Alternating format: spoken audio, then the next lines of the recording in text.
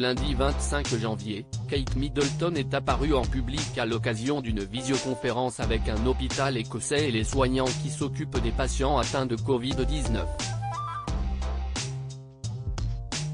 L'occasion pour elle de sortir un look très symbolique. Le tartan est de mise pour Kate Middleton. Lundi 25 janvier, la duchesse de Cambridge est apparue depuis chez elle avec le prince William à l'occasion d'un appel vidéo avec le personnel soignant de l'hôpital de Ninewell, à Dundee en Écosse.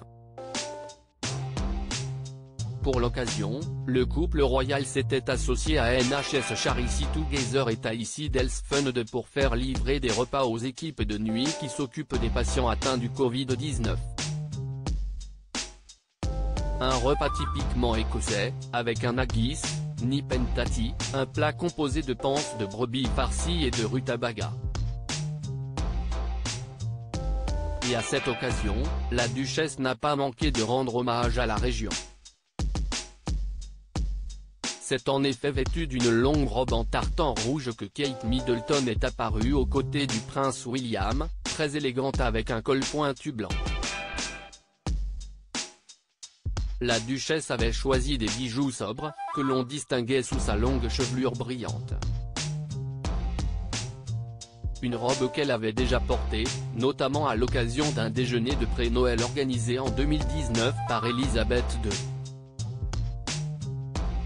Un motif traditionnel écossais, pour lequel elle avait également opté lors de son Royal Tour en décembre dernier, en le portant sur des écharpes. Un nouveau membre dans la famille Cambridge radieuse lors de cette apparition, l'école à la maison ne semble pas épuisée pour le moment la duchesse de Cambridge, toujours confinée selon les mesures mises en place par la Grande-Bretagne pour lutter contre le Covid-19.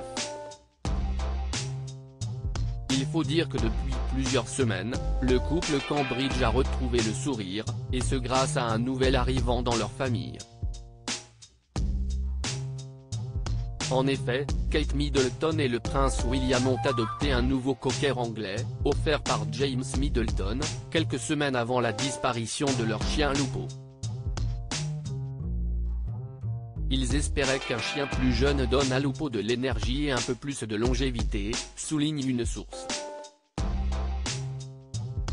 Si le cocker est mort peu après cette adoption, la famille Cambridge, le charme de l'animal, a pu se consoler avec la présence de ce nouvel arrivant.